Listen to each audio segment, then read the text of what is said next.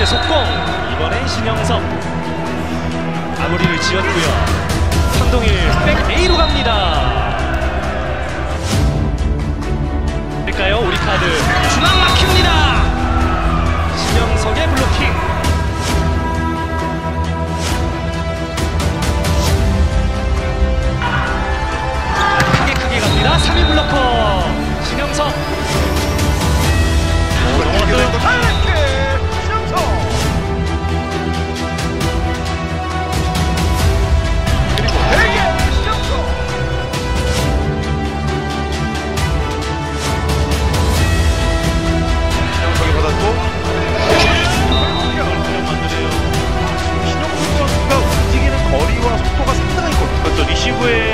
가담을 하면서 이 신장의 선수가 이렇게 빠르게 전위로 접근하고 있어요.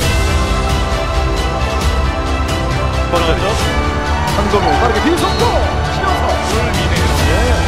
이거는 어택 라인에서 더 떨어진 공인데 약간 흔들렸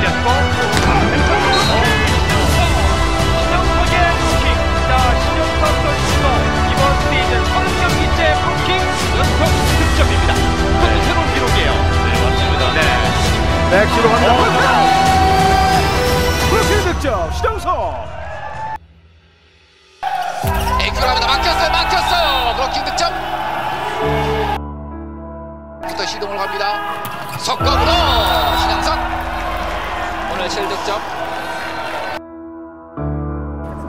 어, 당연히 또 평생 기억될 센터? 너무 좋은 얘기인 것 같습니다.